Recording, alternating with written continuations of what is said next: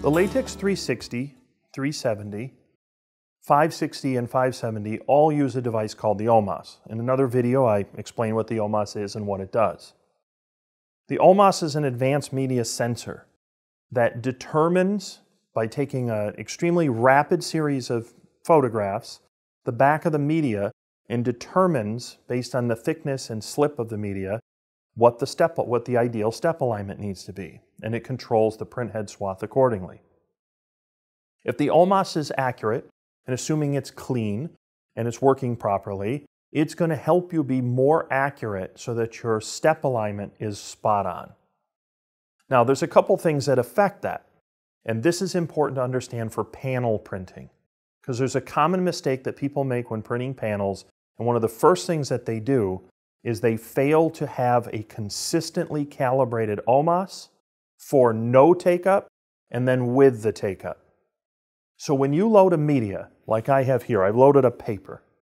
This paper is evaluated by the OMAS when you load it automatically. If you had something sort of translucent, you'd see this little blinking red light. That red light on the platen is the OMAS in action. Now it has already measured this paper and determined in its mind what the ideal step should be. Now, if you were to print a panel job, let's say you have three panels. You have the paper hanging out of the front of the printer like this. Now, so for first panel, what you do is you roll it back a little bit, try to have as little waste as possible, and you initiate panel one. And what you plan to do is you're going to put a piece of tape in the middle and you're going to tape it onto the take-up roll while it's running, which is an entirely acceptable practice. Problem is, you're doing a panel job. And as soon as you put that take-up reel on, and you have not recalibrated or enabled the take-up reel to account for the slight difference in tension, what that means is your first panel, for the whole panel or a portion of it, it has had a setting for the tension, which is no tension, and then the OMAS is set to a certain setting. Now you've then added tension a third of the way through the job, and then you haven't enabled a recalibration of the OMAS because you're printing while it's running. That's a problem. Or uh, let me rephrase that, that could be a problem. That would be one of the first things I would look at if you have panel irregularity, is that that OMAS has not been enabled on the printer, and as a result, it has not recalculated with the take-up roll being applied. The reason you have a enable on the OMAS or on the panel for the take-up reel is because the minute you tell the printer that the take-up reel is enabled, it recalibrates the OMAS. It says, now that I have tension, I'm going to recalibrate that.